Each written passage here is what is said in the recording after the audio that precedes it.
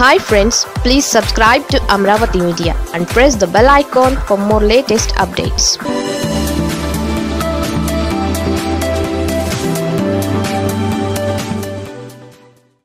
సీజేకు జగన్ లేఖ మార్చి ఐదు డెడ్ లైన్ ఈలోపు ఏం జరగబోతోంది?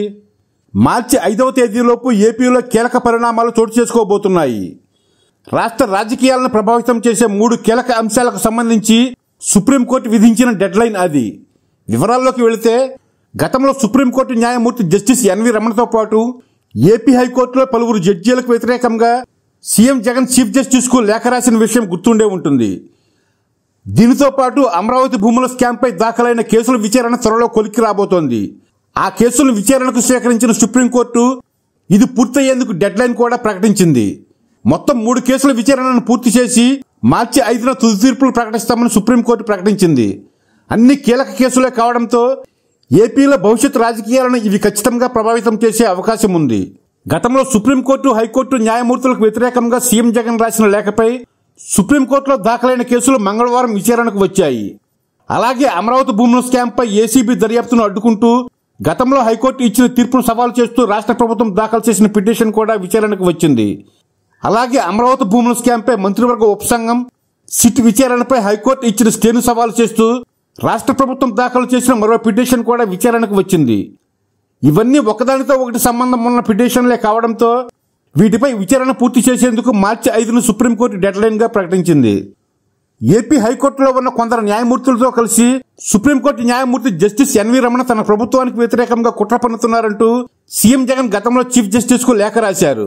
అయితే ఈ లేఖలో జడ్జీలపై జగన్ చేసిన ఆరోపణలు దారుణంగా ఉన్నాయని భవిష్యత్తులో జగన్ జడ్జీలపై ఎలాంటి వ్యాఖ్యలు చేయకుండా అడ్డుకోవాలని కోరుతూ సుప్రీంకోర్టు న్యాయవాదులు పిటిషన్ దాఖలు చేశారు. సీజేకు జగన్ రాసిన లేఖపై ఆయన నిర్ణయం తీసుకున్నప్పటికీ ఈ కేసులో సుప్రీంకోర్టు ఇచ్చే తీర్పు జగన్పై ప్రభావం చూపే అవకాశం ఉంది. దీంతో ఈ కేసు కీలకంగా మారింది. అమరావతిలో ఇన్సైడర్ ట్రేడింగ్ చోటు చేసుకుందని తద్వారా టీడీపీకి చెందిన ముఖ్యులు భారీ ఎత్తున కుంభకోణానికి పాల్పడ్డారంటూ ఆరోపించిన వైసీపీ సర్కారు వాటిపై మంత్రివర్గ ఉపసంఘం సిట్ దర్యాప్తులకు ఆదేశించింది. అయితే హైకోర్టులో టీడీపీ నేతలు దీన్ని సవాల్ చేశారు. ఈ కోర్టు విచారించిన హైకోర్టు స్టే ఇచ్చింది. ఈ స్టేను రాష్ట్ర ప్రభుత్వం సుప్రీంకోర్టులో సవాల్ చేసింది. అలాగే మాజీ అడ్వకేట్ జనరల్ దమ్మాలపాటి శ్రీనివాస్తో పాటు మరికొందరు రాజధానిలో నేరపూరిత కుట్రతో భూములు కొన్నారని ఏసీబీ కేసులు పెట్టింది. ఈ కేసుల దర్యాప్తుపై హైకోర్టు ఇచ్చిన స్టేను కూడా రాష్ట్ర ప్రభుత్వం సుప్రీంకోర్టులో సవాల్ చేసింది. ఈ రెండు పిటిషన్లపై తీర్పుకు కూడా మార్చి ఐదవ తేదీ డెడ్ లైన్గా సుప్రీంకోర్టు నిర్ణయించింది.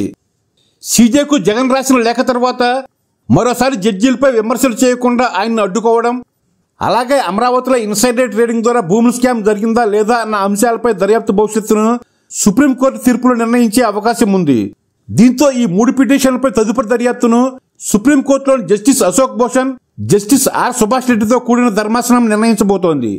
కాబట్టి మార్చి ఐదవ తేదీ సుప్రీంకోర్టు ధర్మాసనం ఇచ్చే తీర్పులు ఇటు జగన్కు అటు అమరావతి భవిష్యత్కు కీలకంగా మారాయి. వీటి ప్రభావం రాష్ట్ర రాజకీయాలపై పడడం ఖాయంగా కనిపిస్తోంది.